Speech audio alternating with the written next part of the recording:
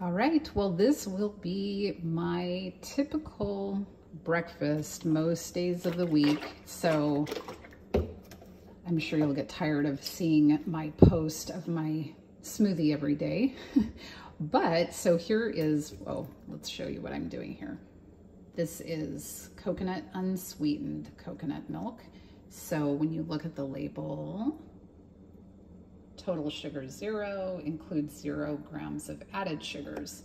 And sometimes you can get these with a vanilla flavor, um, depending on the brand, without sugar. But you have to be really careful because some of the vanilla plant milks are sweetened. So I'm always very cautious to get unsweetened.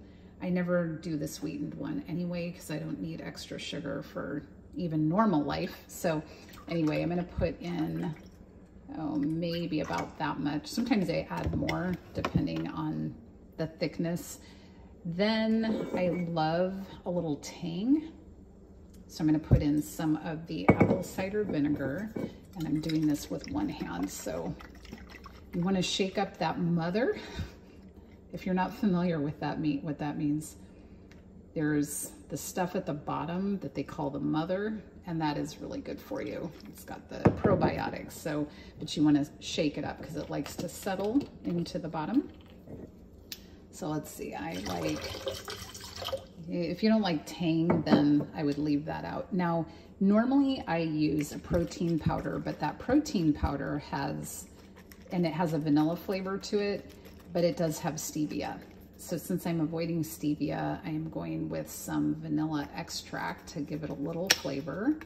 So I'm just gonna squirt in. I don't even know how much because I don't normally do that.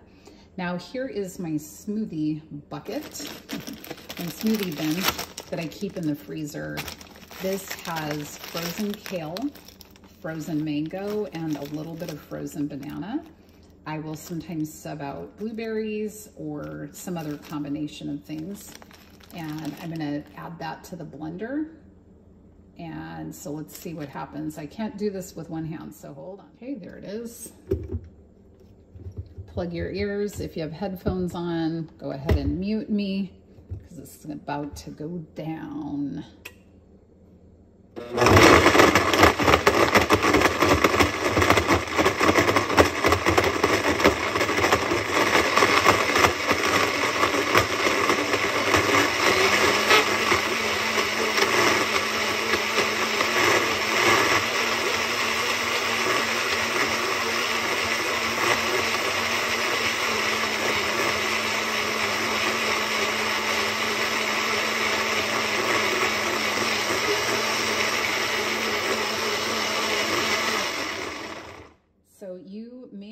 Like it to be thick or pulpy. So let's see what we've got. Sometimes I keep going. Nope, that looks like it's pretty good.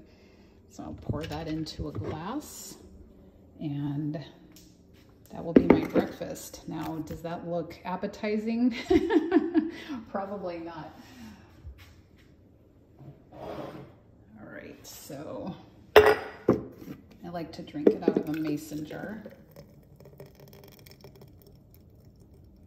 And this one is a little smaller than what I normally do. So feel free to double up on your kale and fruit and things like that. But I'm gonna start with this and see how I feel, but definitely maybe I'm gonna do a whole nother one. So, all right, so there we go.